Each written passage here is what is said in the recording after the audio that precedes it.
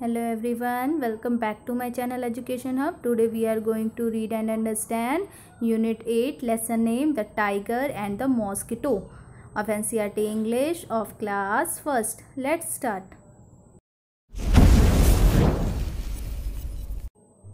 the tiger and the mosquito a tiger was dozing under a tree एक बार एक जो टाइगर था, वो डॉजिंग मतलब होता है उबासी लेना या फिर जब हम, हमें नींद आती तो हम कैसे उबासी लेते ना? तो जो एक टाइगर था ये ये पेड़ के नीचे बैठ के उबासी ले रहा था। मॉस्किटो केम बजिंग बाय तभी एक मच्छर आता है और वो बज करके आवाज़ करता है। आप लोगों ने मच्छर की आवाज़ सुनी ना? तो वो बज करके आवाज़ करता है। The tiger said hey mosquito go away तो टाइगर जो होता है वो कहता है कि मॉस्किटो तुम यहाँ से चले जाओ। The mosquito said why should I go away I am not afraid of you तो जो मॉस्किटो था, वो कहता है कि मैं क्यों चले जाऊँ? मैं तो तुमसे नहीं डरता। अफ्रेड मतलब होता है डरना। द टाइगर वॉज़ एंग्री जो टाइगर होता है, उसको बहुत गुस्सा आ जाता है। He hit out with his paw वो क्या करता है? अपने पंजे से उस मच्छर को हिट करने की कोशिश करता है। हिट मतलब मारना पॉ मतलब पंजा।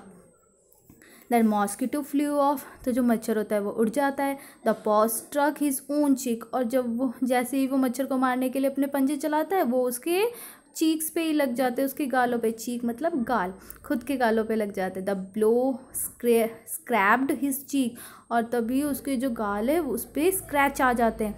इट बिगन टू ब्लीड और वहाँ से खून निकलना शुरू हो जाता है। द मॉस्किटो बर्स डबे और जो मॉस्किटो होता है, वो दोबारा से विज विज वाली साउंड निकालते रहता है। The tiger struck with his other paw फिर टाइगर कहता है, फिर से उस पर हमला करता है। स्ट्रक मतलब होता है हमला करना। टाइगर जो है, वो फिर से हमला करता है दूसरे पंजे से। द मॉस्किटो फ्लू ऑफ़ इस बार भी जो मच्छर होता है, वो भाग जाता है।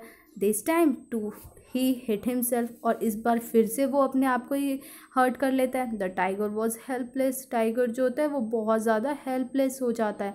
The mosquito continue to buzz और जो मच्छर होता है, वो बार बार बार बार उसके कान में आके वज वज करके साउंड करता रहता है। आप लोगों ने सुनी है ना मच्छर की आवाज़? The tiger got up and quietly walked away फिर क्या करता है, बेचारा जो टाइगर होता है, वो उठता है और वहाँ से बिल्कुल चुपचाप जाने लगता है। क्वाइटली मतलब बिल्कुल चुपचाप या शांत वॉक मतलब चले जाना। The mosquito called called out after him don't be so proud my friend everyone is great in his own way तो जो मच्छर है, वो उसको बुलाकर कहता है जब वो जा रहा होता है तो उसको बुला के कहता है कि कभी भी हमें खुद पे इतना गर्व नहीं करना चाहिए, मेरे दोस्त। सभी अप, सबकी ही कुछ ना कुछ खासियत होती है और सब कुछ ना कुछ में अपने आप में महान होते हैं।